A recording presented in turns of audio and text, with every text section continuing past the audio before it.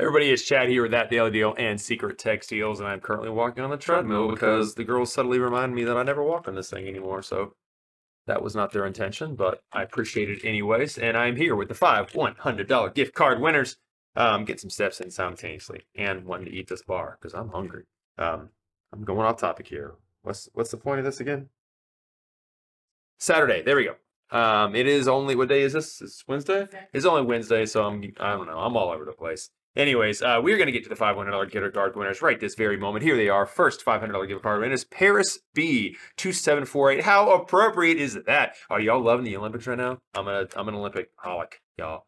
You know, when you put it in front of me, I'm one of those people that am instantly like obsessed with whatever you put in front of me to watch.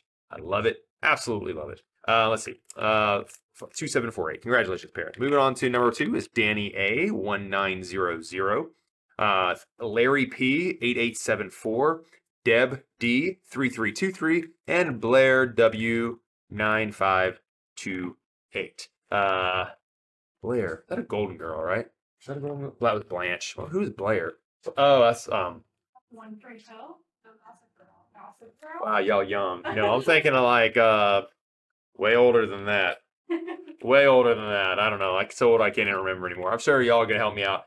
Really old sitcom, you know, Blair and Miss Miss Miss something was three foster girls, I think, living with Miss so and so back in the day. Here we go, and there's the facts of life. Something like what does it go? You take is good, you take the bad, you take them both, and there you have the I don't know. You looked up. you know it's the facts of life. The facts of life. All right. So, anyways, uh, thank you, sorta, I guess. Um, anyway, wow, this is a crazy one today. Um, so we did not have a correct guess, and the what the heck is that thing? No wonder because man, Miranda threw y'all a curveball this time. I had no idea. Still don't really know. Honestly, I'm kind of I'm playing along with you guys this time, so I'm trying to guess it each week, and I don't even have a remote guess. So, um, but with that being said, here is the second clue.